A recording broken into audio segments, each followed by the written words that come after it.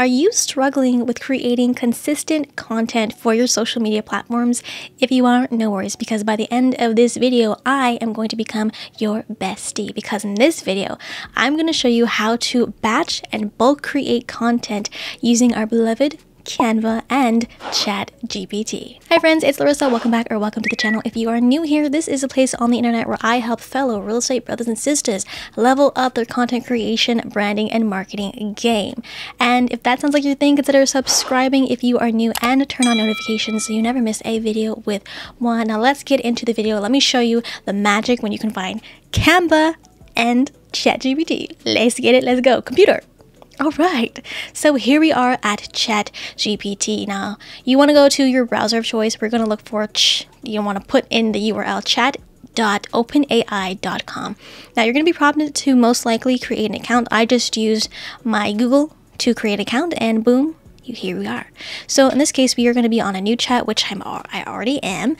Now we're going to paste in our content questions because chat gpt is what is going to help us create the content and then basically we're going to package it up make it look beautiful using canva.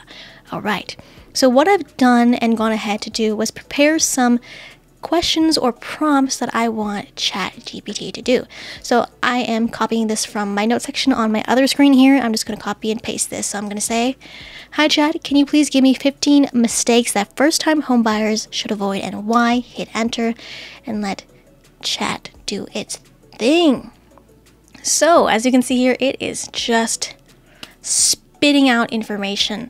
Now, obviously, you can be as detailed as you want. So in this case, you could say, hey chat, can you give me 15 mistakes for first time homebuyers in said city, in said province, country, because the rules might be a little bit different. But in this case, I kept it pretty basic so chat can understand what I wanted to do.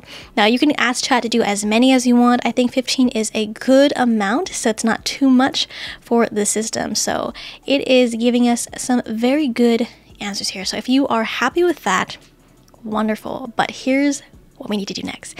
Now, in this case, I want chat to organize all of this content into a table. Now, I, again, I am copying and pasting the prompts that I have on my notes section here, but I'm going to just make sure this looks nice and neat for chat. And I'm going to just remove some of these spaces here. And let me remove that. Space, space, space. So what I'm telling chat to do is to create a table and structure it as the following. One column is the mistake number, the second column is the mistake topic, and the third column is what the mistake is. And as you can see here at the bottom, type check mark if you understand the task because we are trying to train the AI to understand and to work with us. So that's something that I like to do just has a second validation check there. So hit enter and let watch the magic. It's insane. Look at that. All right. Now, as you can see here, it is not actually copying and pasting the information that they that chat previously gave us. So after this, what I'm going to ask chat to do is to include all of the previous text in this column here. So I'm just going to ask it in simple language, can you include all the previous text you had for what the mistake is? And let's see what happens here. Hopefully it will recognize it. Give it a second. It might be a little bit slow because we are using the free version of Chat GPT, not the paid version. So it says, sure. Here's the updated table with the mistake descriptions included.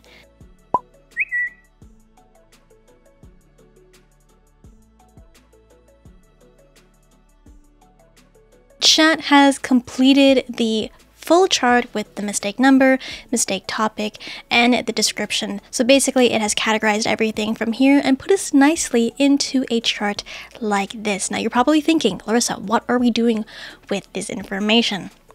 Follow me on this. Trust me. Trust me on this. Okay, this is going to blow your mind because it blew my mind. So now, obviously, this is coming from chat. We want to make sure that we as real estate agents are fact checking this, we are verifying this, and of course adding our own verbiage and copy to this to make sure that it sounds like us, that the information is relevant. Now at this point, what we are going to do is copy all of this information, this table, into a Google spreadsheet. So very simply, I'm just going to drag my mouse like that, copy it like that, right click, copy, and now I've already opened up a Google spreadsheet, a blank one. And now what I'm going to do is just to paste it in here. And as you can see, we have the mistake, number, mistake, topic, and the description here. Now, this is where you can very easily add in your verbiage again, your text in here.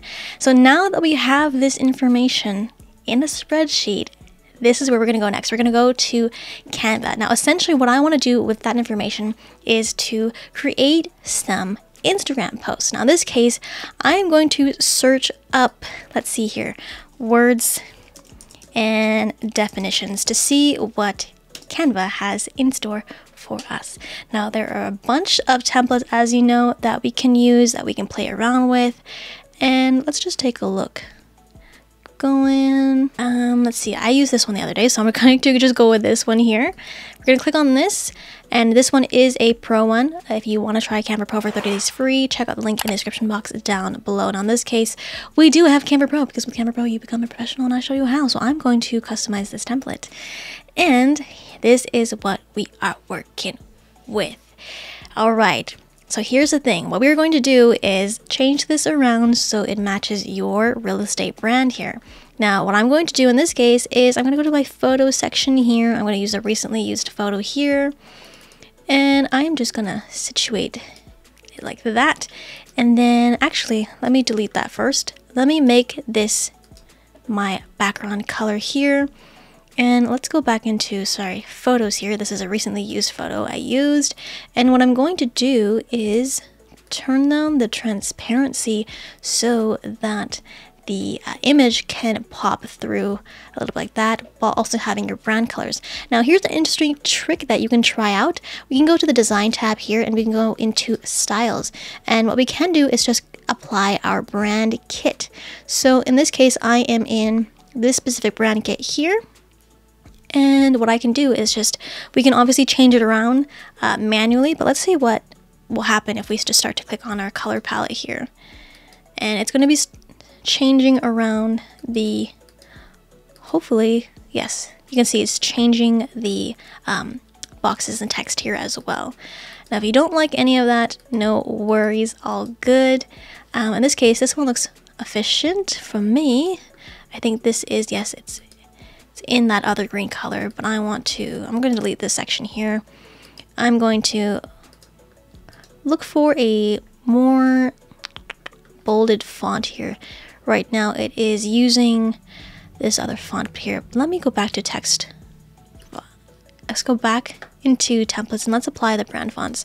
So here is my brand fonts here. And now I can go ahead and make that bolded and I'm just gonna make that look bigger so it's noted. Okay. Now what we're basically doing is creating a template because essentially what we're going to do is be copying in the information from our spreadsheet into Canva which I'm going to show you very quickly. But first we are going to just change a few things around.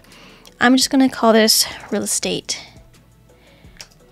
101 and let's see here, I'm going to situate this up here like that. And now this is where the magic happens, my friends. Okay, so we are going to go into the app section here on the left hand side tab here, and we are looking for bulk create. Now, notice here, upload CSV file. And remember, we have the dun dun spreadsheet of information. Now we are going to download this as a CSV file, comma separated value, like that. And now we have that saved to our desktop. Now we're gonna go back into our design here. Oh, this one here. And we're gonna upload a CSV file. So here it is, I have that one, I'm gonna open it. And now you can see that it has, it wants us to connect our data points. So in this case, I'm going to connect just two of these columns to two pieces of text on here. So Watch this very closely. So what I'm going to do is click on the quarantine and as you see here we have the three dots but it, it, it you can't see it because uh, I'm using my mouse but anyways here is the three dots here and we want to connect data connect data right? Oops we clicked out of that. Connect data and we want to click on in this case we want it to be mistake topic Okay, next I'm going to connect this piece of text to the description. So connect data description. Now you can choose to use the mistake number, but that was just for me to keep track of what mistake there was. Um, in this case, I'm not connecting any data to this column here. And all we have to do now is click continue. And as you can see here, it is showing all of the text from that third column we had in the description as well. It's all select all because we want all of those 15 different rows there. And we are going to generate the 15 pages. Now ready, set, watch the magic. It's going to open up a different Canva slide of the design you create of that template. As we can see here, if we open up to the grid view, we have all of our 15 buying mistakes, each with the description of each buying mistake. Is that not insane? Thank you, Canva. So at this point, what I would do is just go and make sure you go to every single page and just make sure the placement is good. It looks good. There are no mistakes. Everything is positioned well. Now I'm going to show you another little ninja trick for Canva. Now let's say I don't want real estate 101 because this is home buyer mistakes, right? So we want to be a little bit more detailed so we are speaking to the right audience. But Here's the thing you don't have to go page by page to change each of the text boxes. So let's go to the File tab up here. We are going to click on the Find and Replace text, okay? We're to click on that and it's to open up another window here for us. Alrighty, so we are going to, for ease, just copy this text here. Find Real Estate 101. We're to do match case it's to find 15 and we we want Canva to replace Real Estate 101 with first time home buyer mistakes to avoid. Okay? I didn't spell it right. Avoid. Now we are going to replace just this one, or in this case, we are going to replace all. So hit that, and boom, all 15 matches were replaced. So on every single page now, everything has been replaced. Now keep in mind the number of characters you have, so you might have to go in and readjust just slightly on each page so it looks nice. So we're just gonna click out of that and there you go. Every single page has been changed over, first time homebuyer mistakes to avoid. Dun dun, there you go. Now at this point, what we can do is just to share this as a PNG, just a straight flat image. So we go to share, go to download, and then just download to your desktop. And again, here's a quick trick for you. If you have Canva mobile app downloaded to your phone and you are signed in on your phone, what you can do is go to more and click on send to phone scan this QR code and it's going to open up this exact design on your phone so then you can then download all of these images directly to your phone's gallery. But this does not end here. So we have a static image, but we what we can do is create these into text reels. So if you are familiar with all of these different quote Twitter style quote reels that have been going around lately, we can do basically the exact same thing with this. So you do need Canva Pro to do this because it is very efficient, very easy. And we are going to be working with the Canva resize. So essentially what I want to do is to make this static Instagram IG feed post into an Instagram reel. And specifically, we need to look for Instagram reel because we want Canva to recognize that this needs to be a video style or video format for the Canva docu type. So we're going to go to Instagram Reel, click on that. You can resize this or make a copy of this, which I recommend copy and resize this. So it is going to do remixing. And now we have changed the size and format of this. Now, you, what we can go and do, what I recommend you to do this, is to first, we are going to create a square. So let's see here, R for rectangle, and that is let me bring this to the front now. And as you notice, now Canva has changed the interface of Canva just slightly. So remember before when we clicked on position, this menu would drop down right below. Now it is part of this left hand side here. So just a little FYI. Now what we're going to do is we are going to be creating guidelines. So essentially what I want to do, here's a quick tip. Now remember how before I was just dragging this and kind of guessing? We don't have to do that anymore. 1080 by 1080. Boom. And then middle. And then turn on your grids, Shift R.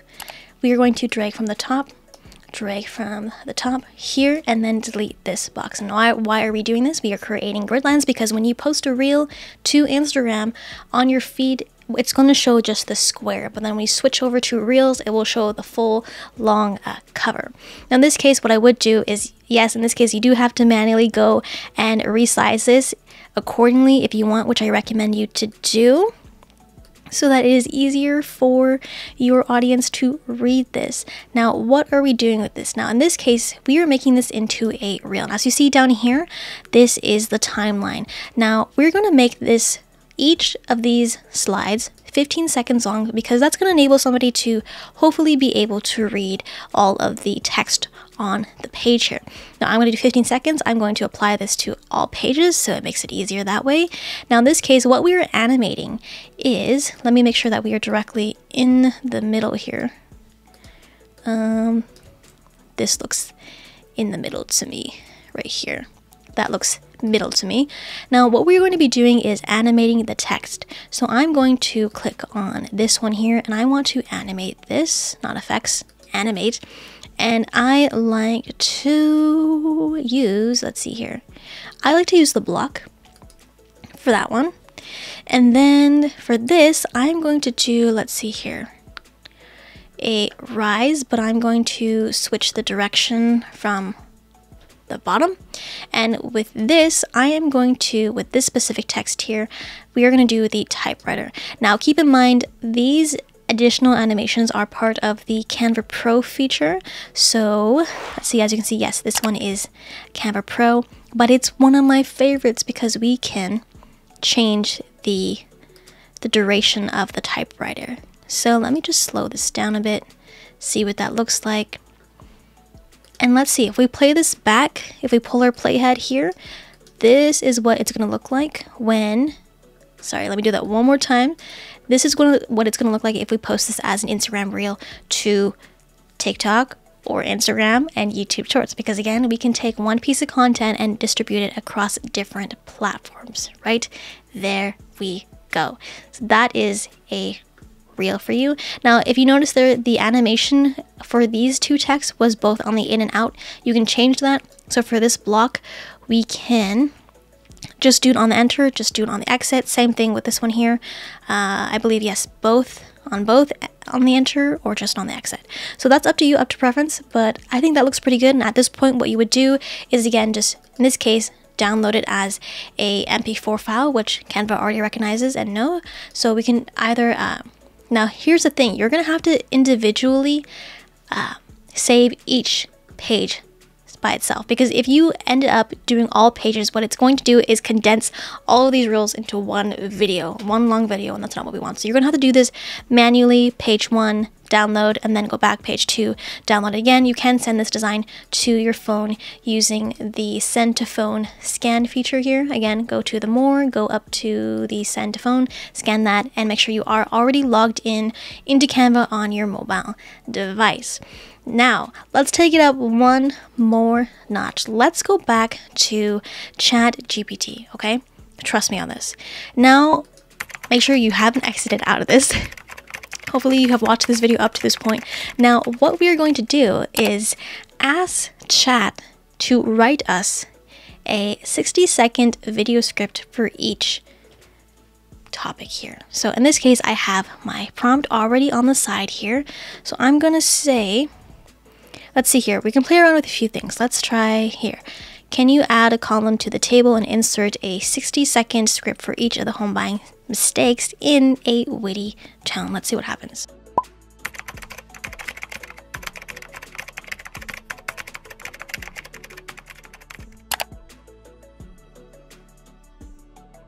As you can see here, chat has only done up to mistake number eight. No worries. Let's just ask chat to continue. Let's see here. Bum, can you finish all the, the video scripts for the 15 home buying mistakes? Let's see what chat says. Sure, here are the remaining video scripts.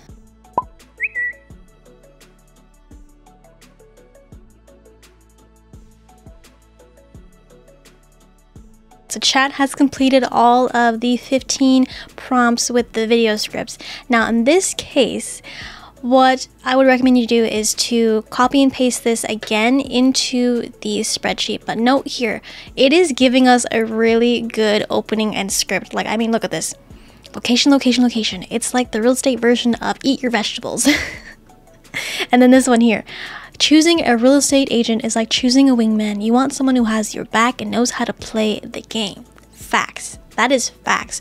So it is giving you a good little intro script, but what it is missing is the CTA or call to action because when you are creating these short form videos, at the end of your videos, you want to have a call to action, a CTA, because if you don't call the action, no action is taken. So encourage your audience, your target audience, to either send them to a long form YouTube video that you have. If you have a buyer's guide, tell them to go to your bio link, sign up for the guide, or if you have a newsletter around a specific neighborhood or a city or community, get the get them to go to your link, your bio link, and opt in for that newsletter. So, if anything, you want to make sure you are trafficking your traffic to certain places in order to continue to have them in your ecosystem of content and information. Now, again, as I mentioned, at this point, what I would do is again manually select, copy, and in this case, we can just,